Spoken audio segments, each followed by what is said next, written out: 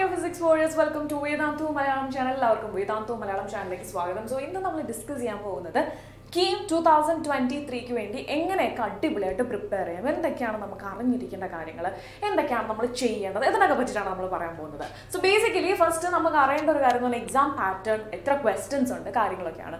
So first of all നമ്മുടെ exam board എന്ന് പറയുന്നത് ഓഫ്ലൈൻ ആണ് ഓൺലൈൻ അല്ല. പെൻ ആൻഡ് പേപ്പർ യൂസ് ചെയ്തിട്ടുള്ള എക്സാം ആണ്. Then next is number of papers അപ്പം ഫസ്റ്റ് പേപ്പർ എന്ന് പറയുന്നത് ഫിസിക്സും കെമിസ്ട്രിയും ഇൻക്ലൂഡഡ് ആണ്. സെക്കൻഡ് പേപ്പർ എന്ന് പറയുന്നത് മാത്തമാറ്റിക്സ് ആണ്. Then third one question paper type no doubt M C Qs ആണ്. Then total number of questions per paper one twenty ആണ്. മാർക്സ് ഒരു ഒരു ക്വസ്റ്റ്യൻ നിങ്ങളുടെ കറക്റ്റ് ആണെങ്കിൽ ഫോർ മാർക്സ് റോങ് ആണെന്നുണ്ടെങ്കിൽ മൈനസ് വൺ ആണ്.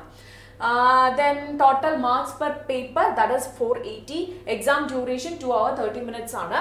Then medium of language English only ഇനി next നമ്മൾ പഠിച്ചുകൊണ്ടിരിക്കുന്ന സമയത്ത് ഏറ്റവും കൂടുതൽ ഓക്കെ കീമിനാണ് നമ്മൾ പ്രിപ്പയർ ചെയ്യുന്നത്. അപ്പം കീമിന് സ്പെസിഫിക് ആയിട്ട് ഏറ്റവും നല്ല ബുക്സ് ഓക്കെ ഈ ബുക്ക് പഠിക്കുന്നതാണ് എനിക്ക് ഏറ്റവും നന്നായിരിക്കുക എന്ന് തോന്നി എന്ന് നമുക്ക് ഒരു കൺഫ്യൂഷൻ ഉണ്ടായിരിക്കും. ആ കൺഫ്യൂഷൻ മാറ്റാം എന്നുള്ളതാണ് ടീച്ചേഴ്സിന്റെ ഏറ്റവും വലിയൊരു ടാസ്ക് എന്ന് പറയുന്നത്.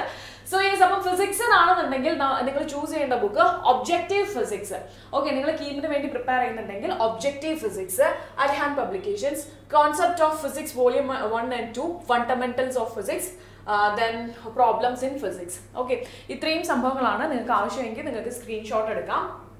ഓക്കെ സോ ഫിസിക്സിന്റെ ഇമ്പോർട്ടന്റ് ആയിട്ടുള്ള അല്ലെങ്കിൽ ഫിസിക്സിൽ നിങ്ങൾക്ക് കീമിന് വേണ്ടിയിട്ട് റെഫർ ചെയ്യാവുന്ന ബുക്സ് ആണത്. വളരെ നല്ല ബുക്സ് ആണ്. ആൻഡ് അതുപോലെ തന്നെ വേറൊരു കാര്യം ശ്രദ്ധിക്കാനുള്ളത് എൻ സി ആർ ടി ആണ് ഇതിന്റെ എല്ലാത്തിനും മുകളിൽ ഓക്കെ എൻ സി ആർ ടിയിൽ നിന്ന് most probably N C R ടിയിൽ നിന്നുള്ള ഒരു എഴുപത് എഴുപത്തഞ്ച് ശതമാനത്തോളം നമുക്ക് എൻ സി ആർ ടിയും എൻ സി ആർ ടിയിലുള്ള എക്സാമ്പിൾസും മിസ്ലേനിയസും ഒക്കെ ഇൻക്ലൂഡ് ചെയ്തിട്ട് നമുക്ക് പറയുകയാണെങ്കിൽ ഏകദേശം ഒരു സെവന്റി പെർസെന്റേജോളം മാർക്ക് നമുക്ക് എൻ സി ആർ ടി തന്നെ കിട്ടും. ബട്ട് ഡെഫിനറ്റ്ലി ന്യൂ ക്വസ്റ്റൻസ് ഉണ്ടായിരിക്കും. ഓക്കെ നമ്മളിപ്പം ക്വസ്റ്റ്യൻ പേപ്പർ അനലൈസ് ചെയ്യുവാണെന്നുണ്ടെങ്കിൽ ഒരുപാട് ക്വസ്റ്റ്യൻസ് ഏകദേശം ഒരു yes twenty to thirty percentage questions പുതുതായിട്ടുണ്ടായിരിക്കും.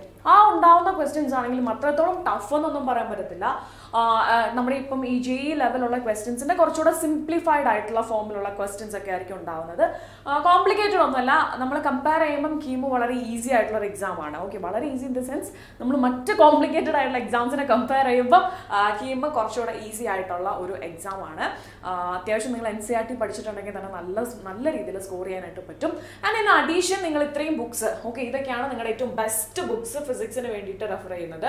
ഇത് നിങ്ങൾ റെഫർ ചെയ്ത് പഠിക്കുവാണെങ്കിൽ കുറച്ചുകൂടെ നല്ല മാർക്ക് നിങ്ങൾക്ക് സ്കോർ ചെയ്യാനായിട്ട് പറ്റും.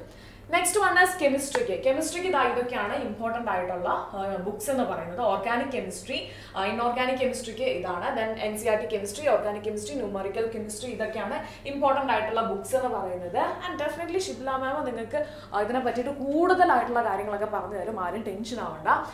ദെൻ മാത്തമാറ്റിക്സിന് വേണ്ടിയിട്ട് ഇതാ ഇതൊക്കെയാണ് ഇമ്പോർട്ടന്റ് ആയിട്ടുള്ള ബുക്സ് എന്ന് പറയുന്നത്. നിങ്ങൾ റെഫർ ചെയ്യുക. നിങ്ങൾ സെൽഫായിട്ട് പ്രിപ്പയർ ചെയ്യുന്നവരാണെങ്കിൽ ഇതിന്റെ ബുക്സ് ഏതെങ്കിലും മേടിച്ച് അല്ലെങ്കിൽ നിങ്ങൾക്ക് ഓൺലൈനായിട്ട് നിങ്ങൾക്ക് പർച്ചേസ് ചെയ്യാം. നിങ്ങൾക്ക് കിട്ടുവാണെന്നുണ്ടെങ്കിൽ പഠിക്കാനായിട്ട് നോക്കുക കൂടുതൽ മാർക്സ് കിട്ടും. ഇനി നെക്സ്റ്റ് എങ്ങനെ തുടങ്ങണം? തുടങ്ങുന്നത് ഓൾവേസ് എന്തായിരിക്കണം? ബേസിക്സിൽ നിന്ന് തന്നെ തുടങ്ങേണ്ടത്. ഓക്കെ നമുക്ക് അടിത്തറ ഇല്ലാതെ എന്ത് നമ്മൾ ചെയ്തിട്ടുണ്ടെങ്കിലും ഒരു കാര്യമില്ല. അപ്പം അടിത്തറ എന്താ പറയുക ഏറ്റവും അടിപൊളിയാക്കേണ്ടത് നമ്മുടെ ഉത്തരവാദിത്തമാണ്. അപ്പോൾ നിങ്ങളിപ്പോൾ എക്സാമിന് വേണ്ടിയിട്ട് നിങ്ങളിപ്പം ലാസ്റ്റ് മിനിറ്റിലാണ് നിങ്ങൾക്ക് കുറച്ച് ഷൂടൊക്കെ വന്നത് നന്നായി പഠിക്കാം എന്നുള്ള തീരുമാനമൊക്കെ എടുത്തതെങ്കിൽ ഡെഫിനറ്റ്ലി നിങ്ങൾക്ക് എന്താ പറയുക നല്ല രീതിയിൽ ഓരോ കോൺസെപ്റ്റും മനസ്സിലായിട്ടുണ്ടാവില്ല. ഓക്കെ അപ്പം ഫസ്റ്റ് നിങ്ങൾ ചെയ്യേണ്ടത് നിങ്ങൾ അങ്ങനെ പഠിച്ചവരാണെങ്കിൽ ഒരു പരിധി വരെ എല്ലാവരുടെയും നല്ല രീതിയിൽ നിങ്ങൾ N C R T cover ചെയ്ത് പോന്നിട്ടുള്ളവരാണ്. അങ്ങനെ പോന്നിട്ടുള്ളവർ പേടിക്കണ്ട. അല്ലാതെ ബുദ്ധിമുട്ടി കുറച്ച് എക്സാം ഓറിയന്റഡ് ആയിട്ട് പഠിച്ചവരാണെന്നുണ്ടെങ്കിൽ ബേസിക്സ് ഒക്കെ വളരെ മോശമായിരിക്കും. സോ ബേസിക്സ് അറിയാമെങ്കിൽ കീമിന് വളരെയധികം യൂസ്ഫുൾ ആണ് കേട്ടോ. അപ്പം ഡെഫിനറ്റ്ലി നിങ്ങൾ തുടങ്ങുമ്പോൾ ബേസിക്സിൽ നിന്ന് തുടങ്ങുക. ദെൻ നെക്സ്റ്റ് നിങ്ങൾ KEAM two two thousand twenty three നിങ്ങളുടെ സിലബസ് വന്നിട്ടുണ്ടെങ്കിൽ KEAM two thousand twenty three proper ആയിട്ട് നിങ്ങൾ സിലബസിലൂടെ കടന്നു പോവുക. ടൈം ടേബിൾ ചൂസ് ചെയ്യുക. ഓക്കെ ടൈം ടേബിൾ നിങ്ങൾ നിങ്ങളുടേതായിട്ടുള്ള ഒരു ടൈം ടേബിൾ ഉണ്ടാക്കുക.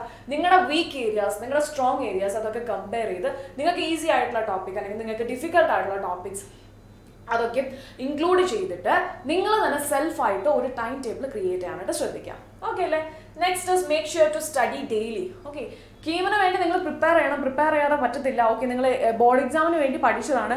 എൻ സി ഐ ടി ആണ് നമ്മുടെ ഈ പറയുന്ന കീമിന്റെ ഏറ്റവും മേജർ ആയിട്ട് വരുന്ന ഒരു സംഭവം. അങ്ങനെയാണെങ്കിൽ എൻ സി ഐ ടി ഞാൻ ഓൾറെഡി പഠിച്ചതല്ലേ? ഇനിയിപ്പം കീം എക്സാം നേരിട്ട് എഴുതിയാൽ പോരെ എന്നൊക്കെ ചിന്തിക്കരുത് ഒരിക്കലും. ഡെയിലി നിങ്ങൾ പഠിക്കുക റിവിഷൻ ചെയ്യാനായിട്ട് നോക്കുക. ഓരോ ദിവസവും നിങ്ങൾക്ക് പറ്റുന്ന അത്രയും എന്താ പറയുക ഓരോ ടോപ്പിക്സും കവർ ചെയ്യാനും ക്വസ്റ്റ്യൻസ് ചെയ്ത് പഠിക്കാനൊക്കെയും ശ്രദ്ധിക്കുക. Then next is practice with sample papers അത് കോംപ്രമൈസ് ഇല്ലാത്ത കാര്യമാണ്. ഒരു എക്സാമിന് പോകുമ്പോൾ സാമ്പിൾ പേപ്പേഴ്സും അതുപോലെ തന്നെ മോക്ക് ടെസ്റ്റും പ്രീവിയസ് ക്വസ്റ്റ്യൻ പേപ്പേഴ്സും ഒക്കെ നിങ്ങൾ സോൾവ് ചെയ്യുന്നത് വളരെയധികം നിങ്ങൾക്ക് എക്സാമിന് യൂസ്ഫുൾ ആയിരിക്കും. ഇത് പിന്നെയും പിന്നെയും പിന്നെയും ഓരോ കാര്യങ്ങൾക്കും നിങ്ങൾ പ്രീവിയസ് ഇയർ ക്വസ്റ്റ്യന്റെ കാര്യം പറയുന്നത് അത് അത്രത്തോളം റെലവെന്റ് ആണെന്നുള്ളത് കൊണ്ടാണ്. ഓക്കെ അത് നിങ്ങൾ ചെയ്തിട്ടുണ്ടെങ്കിൽ നിങ്ങൾക്ക് ഒരു കോൺഫിഡൻസ് ലെവൽ വേറെ തന്നെയായിരിക്കും മക്കളെ. കാരണം നിങ്ങൾക്ക് അറിയാത്ത ഒരു സാധനം അതായത് മുന്നേ എഴുതിയിട്ടുള്ളവർക്ക് പിന്നെയും കുഴപ്പമുണ്ടാവില്ല. നിങ്ങൾ ഫ്രഷ് ആയിട്ട് എഴുതാൻ പോകുന്ന ഒരു കുട്ടിയെ സംബന്ധിച്ചിടത്തോളം ആ കോൺഫിഡൻസ് വരണമെന്നുണ്ടെങ്കിൽ ഇതെങ്ങനെ ആയിരിക്കും എന്നുള്ളതിനെ പറ്റിയിട്ട് ഒരു അറിവുണ്ടായിരിക്കണം. ഓക്കെ സോ ആ ഒരു അറിവ് കിട്ടണമെങ്കിൽ ഇതുപോലെ സാമ്പിൾ പേപ്പേഴ്സും കാര്യങ്ങളൊക്കെ നിങ്ങൾ സോൾവ് ചെയ്യണം. Revise what you have studied okay അല്ലേ?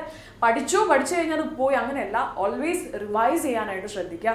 ഞാൻ പറയുന്ന പോലെ ഷോർട്ട് നോട്ട്സ് അത് വളരെ ഇമ്പോർട്ടന്റ് ആണ് കേട്ടോ. കാരണം നമുക്ക് എല്ലാം കൂടെ നമ്മുടെ തലയിൽ കെറ്റി വെച്ച് നടക്കാനായിട്ട് പറ്റത്തില്ല. ഇപ്പം ഞാനിപ്പം ഫിസിക്സ് പഠിപ്പിക്കുന്നുണ്ടെങ്കിൽ പോലും എല്ലാം ഒന്ന് എന്റെ അടുത്ത് ചോദിച്ചു കഴിഞ്ഞാൽ എനിക്ക് അറിയത്തില്ല. കുറേ കാര്യങ്ങളൊക്കെ എനിക്ക് മറക്കും. ഓക്കെ ഈ ഒരു ലോ ഉണ്ട്. ഓക്കെ അതിന്റെ സ്റ്റേറ്റ്മെന്റ് എന്താണ്? അല്ലെങ്കിൽ അതിന്റെ ഇക്വേഷൻ എന്താണ്? അതൊക്കെ പലപ്പോഴും നമ്മൾ മറന്നു പോകുന്ന കാര്യമാണ്.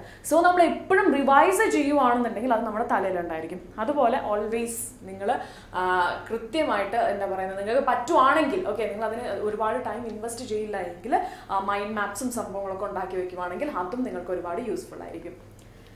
Next avoid attending new topics at the last minute of preparation നിങ്ങൾ പഠിച്ചുകൊണ്ടിരിക്കുകയാണ് പഠിച്ചുകൊണ്ടേ ഇരിക്കുവാണ്. അപ്പം നിങ്ങൾക്ക് ചില സമയത്ത് നിങ്ങൾ ബോറടിച്ചു മാറ്റി വെച്ചു. പിന്നെ നിങ്ങൾ നോക്കുമ്പോൾ അയ്യോ പെട്ടെന്നാണ് അറിയുന്നത്. മെയ് പതിനേഴായി എന്നുള്ളത്. ഓക്കെ അപ്പം നിങ്ങൾക്ക് എല്ലാ കാര്യങ്ങളും പഠിച്ചെടുക്കാൻ പറ്റില്ല. പക്ഷേ ഒരു പരിധി വരെ നിങ്ങൾ പഠിച്ച കാര്യങ്ങൾ റിവൈസ് ചെയ്യുന്നതിൽ കുഴപ്പമില്ല. ലാസ്റ്റ് മിനിറ്റിലൊക്കെ ഇത് ഞാൻ ഇതുവരെ തൊടാത്തൊരു ചാപ്റ്ററാണ് അത് ഞാൻ ഇപ്പം പഠിച്ചേക്കാം എന്ന് വിചാരിച്ചിട്ട് ലാസ്റ്റ് മിനിറ്റിൽ അത് പഠിച്ചിട്ടുണ്ടെങ്കിൽ പ്രോപ്പറായിട്ട് അതിനൊരു റിസൾട്ട് ഉണ്ടാവില്ല. ഓക്കെ അപ്പം നിങ്ങൾ ഒരുവിധം എല്ലാ ചാപ്റ്റേഴ്സും നിങ്ങൾ കവർ ചെയ്യാനായിട്ട് നോക്കുക. ആൻഡ് ആസ് ഓഫ് നൗ നമ്മുടെ സിലബസിൽ അതായത് ഡിലീറ്റഡ് ടോപ്പിക്സ് ഡിലീറ്റ് ചെയ്യാത്ത ടോപ്പിക്സ് അങ്ങനെയൊന്നുമില്ല. N C R T complete ഉണ്ട്. അപ്പം അതുകൊണ്ട് തന്നെ നിങ്ങൾ കുറേ ടോപ്പിക്സ് ഒക്കെ ഡിലീറ്റഡ് ആയിട്ടുള്ള സാധനങ്ങളൊക്കെ നിങ്ങൾ ഒഴിവാക്കിയിട്ടായിരിക്കും പഠിച്ചിട്ടുണ്ടാവുക. ബട്ട് ബേസിക്കലി ആ ടോപ്പിക്സ് ഒക്കെയും ഇവിടെ റെലവെന്റ് ആണ്. അത് നിങ്ങൾ ലാസ്റ്റിൽ ലാസ്റ്റ് ലാസ്റ്റ് എന്ന് പറഞ്ഞിട്ട് അവസാനത്തെ ദിവസത്തേക്ക് എല്ലാം കൂടെ പഠിക്കാന്ന് വെച്ച് കഴിഞ്ഞാൽ ഡിലീറ്റഡ് ടോപ്പിക്സ് അത്യാവശ്യം ഹ്യൂജ് വോളിയം ഉണ്ട്. ഓക്കെ അതിൽ എത്രത്തോളം കീമിന് വേണ്ടിയിട്ട് ഫോക്കസ് കൊടുക്കണം എന്നുള്ളത് ഞാൻ വേറൊരു വീഡിയോ ചെയ്യുന്നുണ്ട്. ഫിസിക്സിനെ മാത്രം സ്പെഷ്യലൈസ് ചെയ്തിട്ട് ഒരു വീഡിയോ ചെയ്യുന്നുണ്ട്. അതിൽ നിങ്ങൾക്ക് മനസ്സിലാവും. സോ ബേസിക്കലി നിങ്ങൾ ലാസ്റ്റ് മിനിറ്റിൽ ഒരുപാട് പുതിയ പുതിയ പുതിയ പുതിയ ടോപ്പിക്സ് ആഡ് ചെയ്യാതെ പഠിച്ച കാര്യങ്ങൾ വൃത്തിയായിട്ട് മനസ്സിൽ നിൽക്കുന്ന രീതിയിൽ പ്ലാൻ ചെയ്യാനായിട്ട് ശ്രദ്ധിക്കാം. Next include breaks okay breaks എടുത്തേ പറ്റത്തുള്ളൂ. എടുത്ത് തന്നെ നമുക്ക് നല്ല രീതിയിൽ ഫ്രഷ് മൈൻഡോട് കൂടെ ഓരോ ടോപ്പിക്സും പുതുതായിട്ട് അപ്രോച്ച് ചെയ്യാനായിട്ട് പറ്റത്തുള്ളൂ.